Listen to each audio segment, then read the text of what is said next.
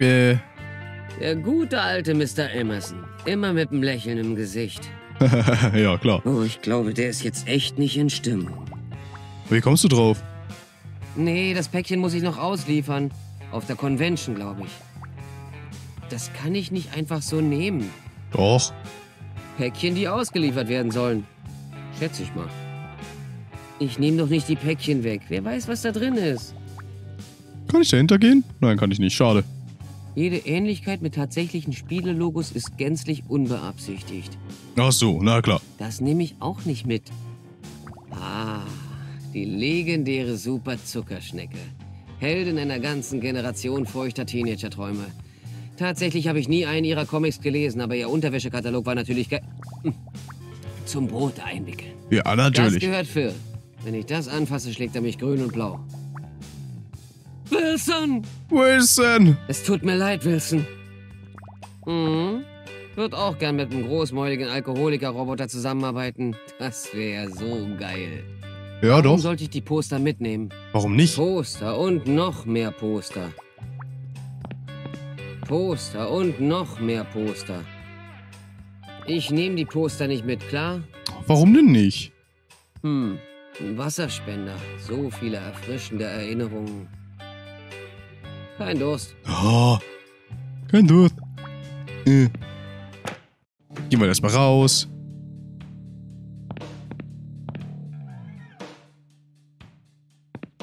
Wird jetzt nicht. Man kann von hier ins Büro schauen. Eher nicht. Äh?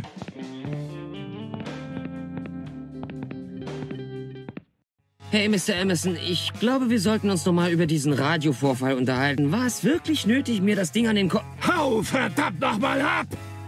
Raus hier! Und komm niemals wieder! Ist ja gut, ist ja gut. Kein Stress. Hä?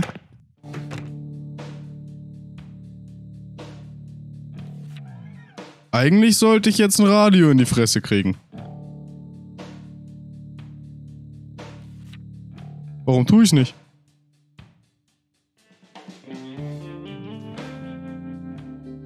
Das ist keine gute Idee, denke ich. Dieses Mal wirft er vielleicht seinen Monitor nach mir und das ist ein Röhrengerät. Hä? Eher nicht. Man kann von... Moment. Hä? Okay, ist okay. Eigentlich sollte er ein Radio nach uns werfen. Aber das macht er irgendwie nicht. Das heißt... Okay, gut, dass es auf dem Speicherstand drauf ist, auf ne? Hä, warum macht das denn nicht? Mels Pfandleihe, Qualitätsschrott zu fairen Preisen. Ich soll das Schild mitnehmen? Jetzt bleib mal auf dem Teppich, ja? Okay. Extra süßes Kaugummi. Das steckt wohl in diesen Kapseln. Da braucht man wohl eine Münze. Wir haben leider keine mehr. Das ganze Geld haben wir ausgegeben von Matt. Aber wir gehen mal in die Pfandleihe. Vielleicht gibt's ja was Interessantes. Eine Dose Mercury Cola. Ist das Zeug nicht aus Sicherheitsgründen aus dem Verkehr gezogen worden? Hey, bleib weg von meinen Babys. Schon gut, entspann dich. Okay. Der Müll ist sicher sein Gewicht in Gold wert. Hier ist so viel Zeug, ich wüsste gar nicht, wo ich anfangen soll. Ah. Vielleicht bei dem Schwert Ist hier. das Stripes Schwert? Schätze, das braucht er nicht mehr. Das kann ich nicht rumtragen. Oh Mann. Der Typ sieht nicht sehr vertrauenserweckend aus. Nicht wirklich, ne? Ich glaube, der will gerade nicht mit mir reden. Vielleicht später. Okay. Den würde ich gern nehmen und den Scolari Brothers so richtig einheizen. Aber ich lasse es lieber. Ich würde ja gern rumlaufen und ein paar Geister umnieten, aber dafür habe ich gerade keine Zeit. Ah, no. Hier gibt's allen möglichen Scheiß. Ich glaube, das ist physikalisch unmöglich. Ist physika- physikalisch gar nicht möglich, Sieht Leute. nach Verkaufsunterlagen aus. Da ist Rubin drin. Die kann ich nicht einfach nehmen, da wird Mel sauer. Und mir ist gerade nicht nach einer Abreibung. Okay. Eine Menge zugegebenermaßen prächtiger Müll. Jo. Hier ist so viel Zeug. Eine Analoguhr. Stehen geblieben. Die trage ich nicht rum. Schade. Nur eine Gasflasche. Überhaupt nicht geheimnisvoll. Nimm sie mit. Die trage ich nur rum, wenn es unbedingt sein muss. Okay. Da stellt man Sachen drauf.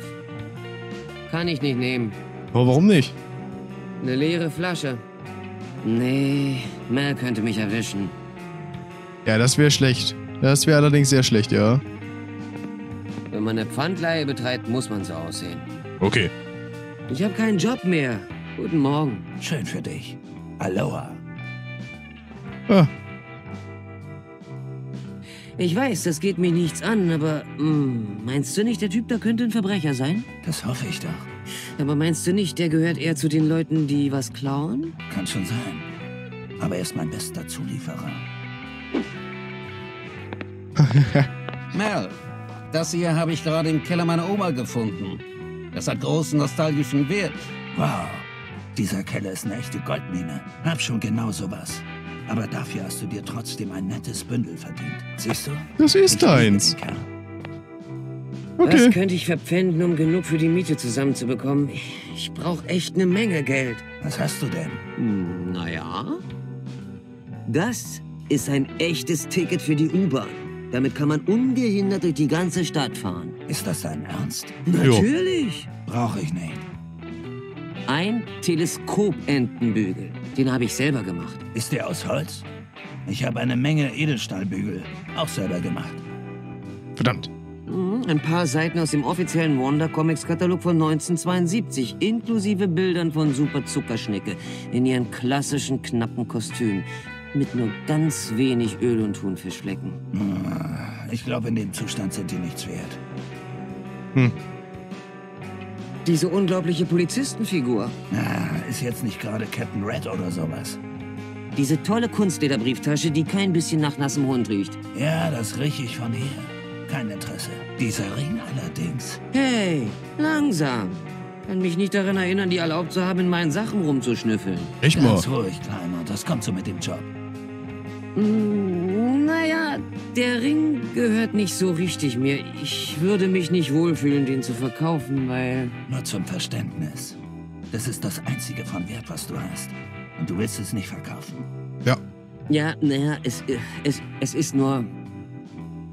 Weißt du, ich... äh, Ich glaube, ich behalte ihn besser. Okay, also, ich glaube, hier bin ich durch.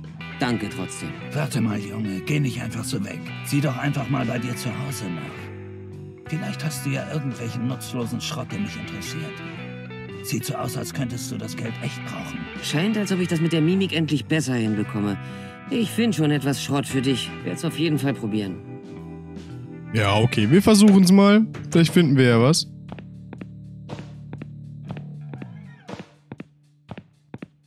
Großartig. Einfach großartig. Wie zur Hölle soll ich jetzt meine Miete bezahlen? Ich muss einen Weg finden, um an Kohle zu kommen. Gottverdammt, Ah. Phil! Was sollte das? Wie kann man nur so nachtragend sein? Jetzt haben wir unser Radio. Eher nicht. Das Ja, okay. Äh, dann würde ich sagen, ab in die Bahnsteige und zu Randalls Wohnung. Manche, manchmal kann man Gegenstände kombinieren und erhält dadurch neue Gegenstände. Immer dran denken. Mach ich. Immer. Der steht ja immer noch hier.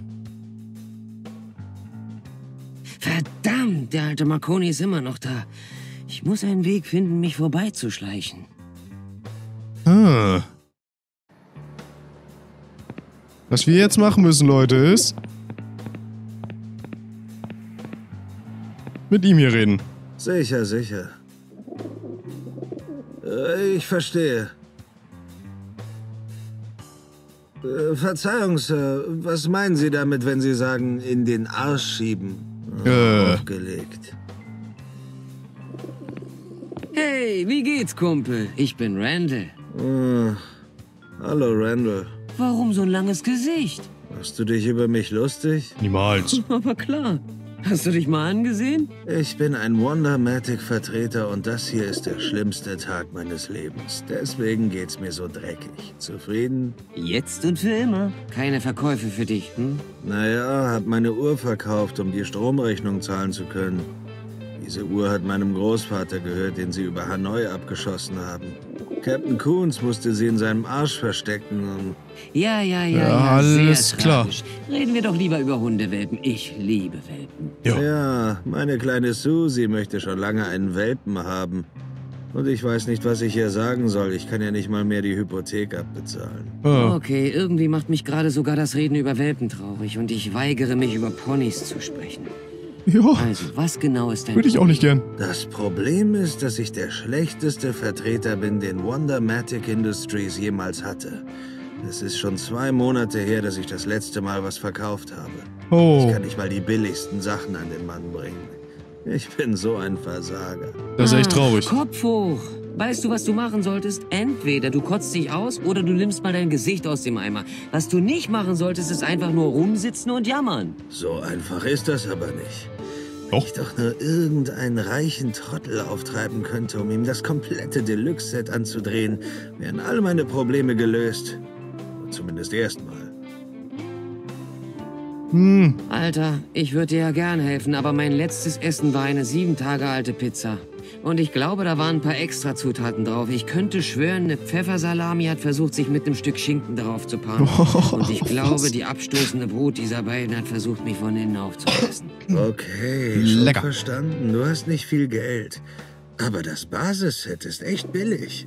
Und wenn du jetzt unterschreibst, kannst du bequem in Raten zahlen. Welchen Teil von Ich bin so arm, dass ich Dinge essen muss, die versuchen, mich zu töten, hast du nicht verstanden? Okay. nicht mal. Warum suchst du dir nicht einfach einen anderen Job?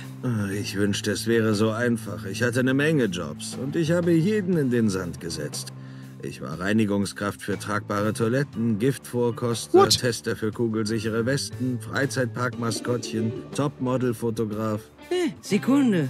Das letzte klang doch ganz gut. Ich musste die Fotos machen, während ich von Bienen bedeckt war. Warum? Was Warum? weiß ich? Ich glaube, die wollten sich nur lustig über mich machen. Hab Das ich Penny auch. von denen gesehen und meine Fotos wurden auch nie veröffentlicht. Egal. Der Punkt ist, ich habe alle meine Jobs verloren. Ich darf's nicht schon wieder verhauen. Wenn du nach jemand mit viel Kohle und wenig im Kopf suchst, dann nimm meinen Vermieter. Das heißt, er sitzt buchstäblich auf Bergen von Geld. Echt? Ja, aber es heißt auch, dass die Morlocks eine Großoffensive planen.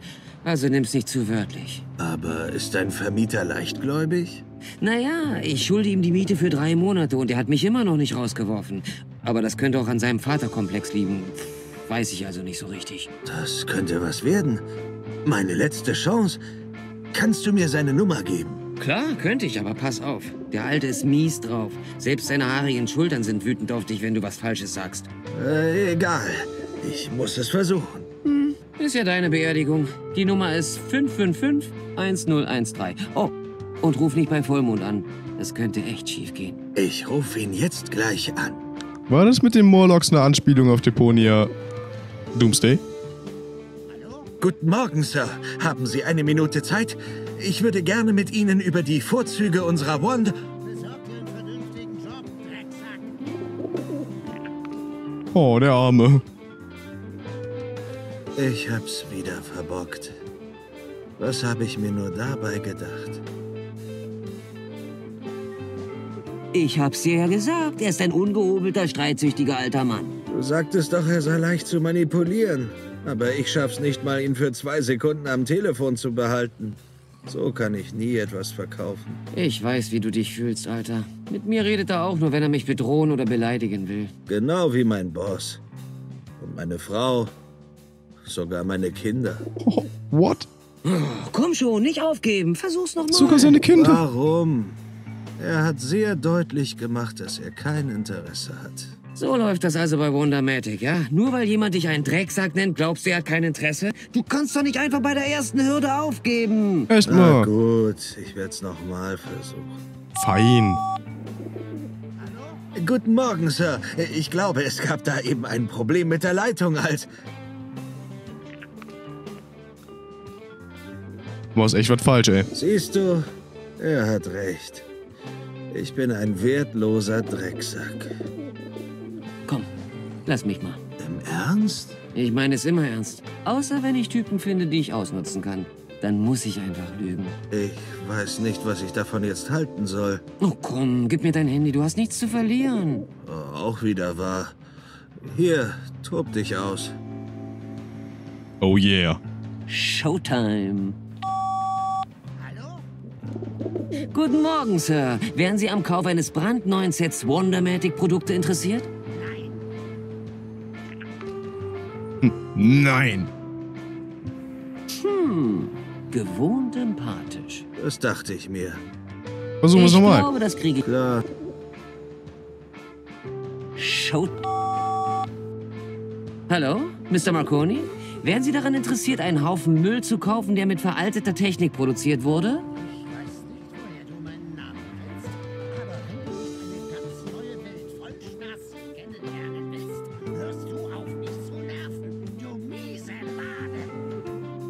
Alter. Wow. das habe ich mir. Ich glaube, Klar, Ich meine, man hört kaum was, wenn der Marconi da sagt, äh, so redet so. ist es wahr, Aber- dass Sie Ihre ganze Familie verspeist haben? Man kann hier lesen.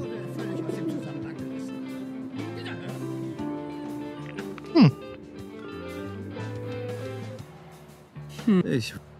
Ich glaube, Klar, Eine Antwortmöglichkeit haben wir noch. Showtime. Sind Sie immer noch im Flur und warten auf mich? Hicks, bist du das? Yep. Hier ist Hicks. Ich habe mich aus dem Apartment geschlichen und ich habe Ihr Geld noch immer nicht. Na, was sagen Sie jetzt? Ist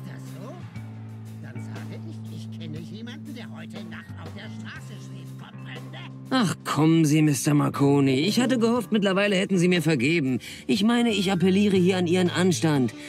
Aber daran gemessen, wie Sie sich anziehen, haben Sie sowas ja nicht. Du verdammter Bastard. Findest du das etwa lustig, Hicks? Bisschen. Viel Glück heute Nacht ein Dach über den Kopf zu finden. Ich könnte dasselbe über Ihren Bierbauch sagen. Tatsächlich habe ich das gerade getan.